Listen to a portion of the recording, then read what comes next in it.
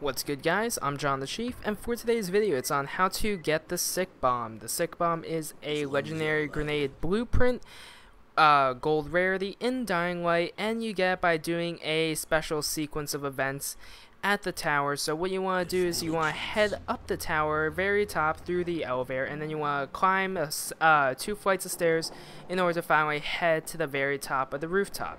When you hit the rooftop, what's going to happen is that you're going to find a checkers board on the opposite side of where you enter uh, the, the, rooftop so as you see I entered right there and you're just gonna go to the other side and you're gonna see a checkers board where it says press X to use or play and when you do that you'll just be moving a checkers piece. You want to do that several times until it finally you uh, win, basically. So you want to just keep doing that over and over and over again until finally you get to the very end when you'll finally win.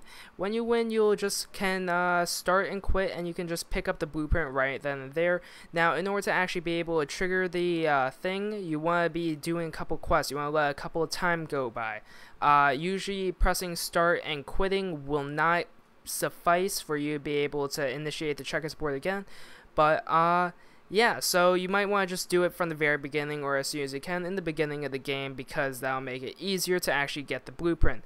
Now for the grenade, overall, I don't like it too much mainly because it can't even kill walkers that effectively. Like it's not it's not that effective a grenade, but oh well. It's uh it's more of a collector's item for me. Anyways, hope you guys enjoyed the video and have a great day.